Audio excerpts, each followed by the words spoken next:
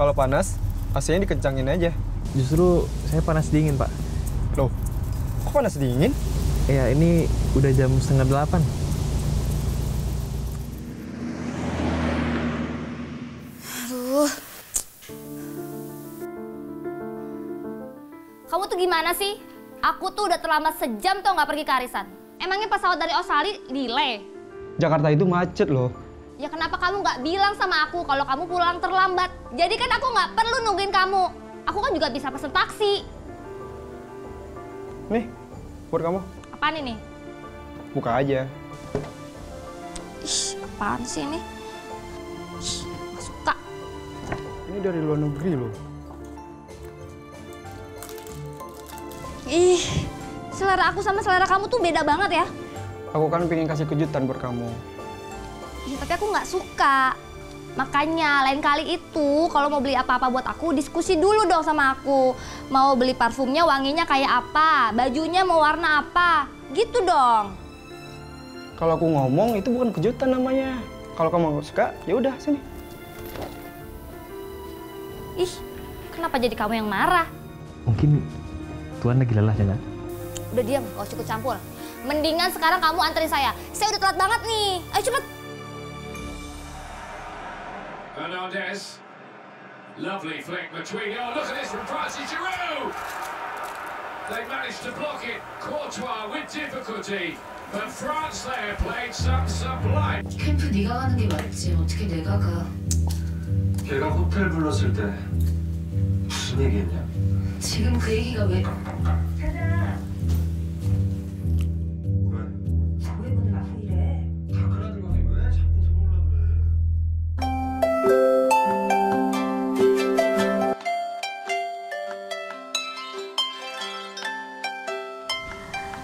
Asik, hari ini waktunya shopping cantik.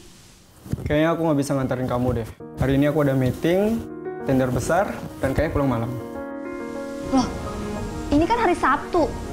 Harusnya kamu anterin aku shopping dong. Jangan mulai deh, ini masih pagi.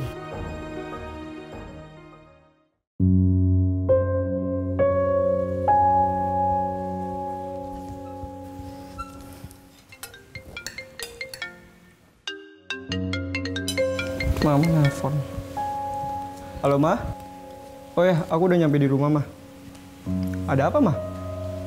Oh iya, aku baru ingat. Siap, Ma. Nanti kita datang ke rumah, Ma. Oke, Ma. Tadi Mama nelpon, katanya kita harus datang ke rumah. Papa Sabtu depan ulang tahun. Eh, kamu mau ke mana? Aku belum selesai ngomong. Sabtu ini kamu kerja. Terus Sabtu depan kamu ada acara ulang tahun. Harusnya kamu tuh ada waktu dong untuk keluarga. Untuk aku. Justru ini malah orang lain yang kamu perhatiin. Eh, ini papa saya. Papa kamu juga. Seharusnya kamu nggak usah ngomong kayak gitu. Kamu tuh istri selalu menuntut. Minta diperhatiin. Egois kamu. Aku muak dengan semua ini.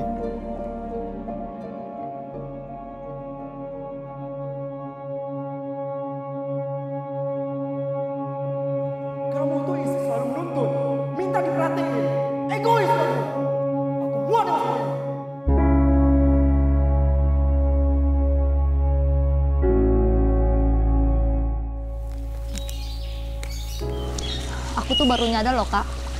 Ternyata selama ini sikap aku bikin dia jengkel.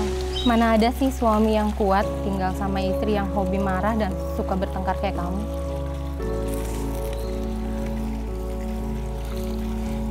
Ya aku kan emang kayak gini kak orangnya. Tahu nggak kamu? Di luar sana banyak loh wanita-wanita yang lebih cantik, lebih sabar, lebih perhatian, lebih halus dari kamu. Nanti kalau mau dikepincut sama kuntilanak di luar sana gimana? Ih, kok kakak ngomong kayak gitu sih? Terus sekarang aku harus gimana dong kak? Tunduk, melayani, dan menghargai. Karena pada dasarnya suami itu suka sama penghargaan dan penundukan diri dari istri.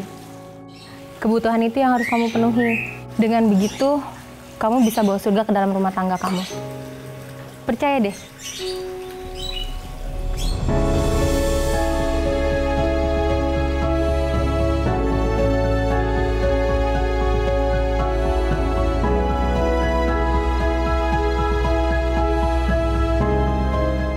Cakap, siapakah akan mendapatkannya? Ia berharga daripada permata. Hati suaminya percaya kepadanya. Suaminya tidak akan kekurangan keuntungan. Ia berbuat baik kepada suaminya dan tidak berbuat jahat sepanjang umurnya.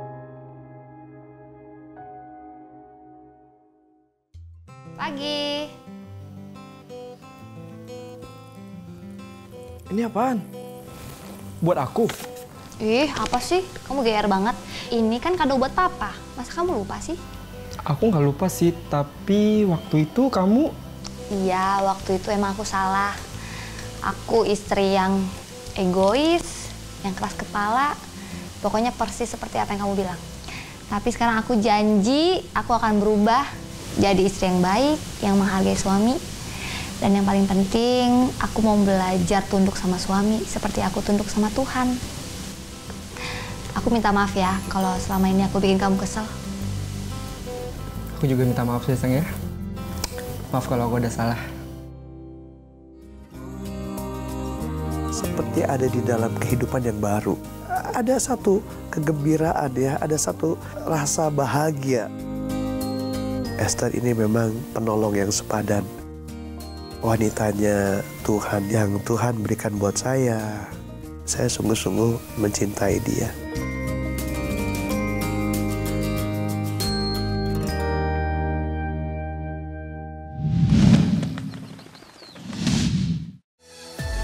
Terima kasih sahabat Solusi karena Anda sudah menyaksikan tayangan Solusi. Tapi jangan lupa untuk Anda yang rindu untuk memberkati dan juga menginspirasi orang lain, Anda juga bisa share video kami yang ada di channel YouTube kami. Tapi jangan lupa juga untuk subscribe dan juga untuk aktifkan tombol notifikasi untuk menerima video terbaru dari kami. Dan bagi sahabat yang punya kesaksian dan juga rindu untuk membagikannya, boleh kirim melalui email kami di bawah ini. God bless you.